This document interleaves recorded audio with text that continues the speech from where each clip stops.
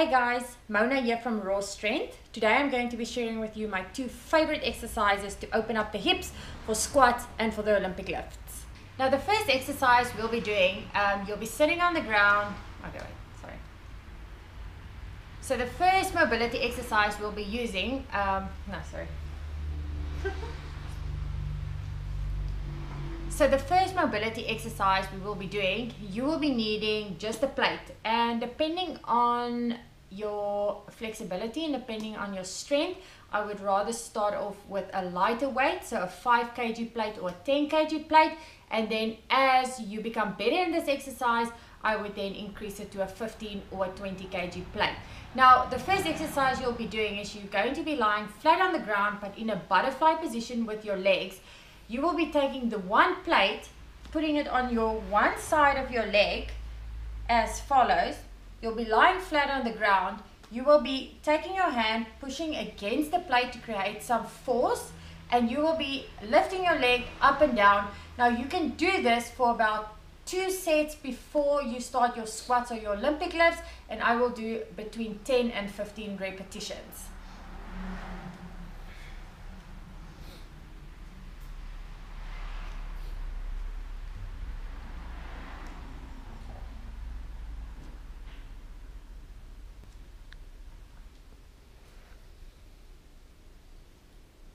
So the second mobility exercise we will be doing, and this is also one of my favorites, is again, you will be needing a plate for this. And again, guys, this all depends on your strength.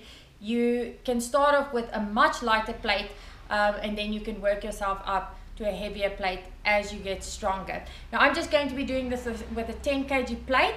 You are going to sit in a squat position. Now the most important thing with this is to keep your back as straight as possible like you would when you do a squat or when you do your Olympic lifts. The other thing that's also very important when you do this movement is to actually when you are in the bottom to make it dynamic. So you will be moving from side to side. So you will also be loosening up the ankles as well as the hips while you are in this position.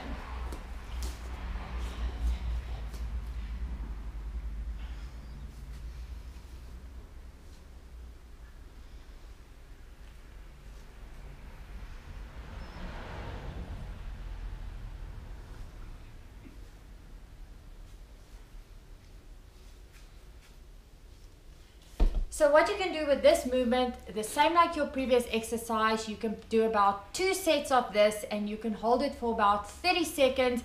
Um, it's really up to you. You can also hold it for even up to 60 seconds if you feel like you need some mobility for your squats. Guys, if you go to the link in the description, you will see there's a free email course with 16 exercises on how to fix your snatch and your clean and jerk. And also, if you like this video, please give it a thumbs up and subscribe to our channel.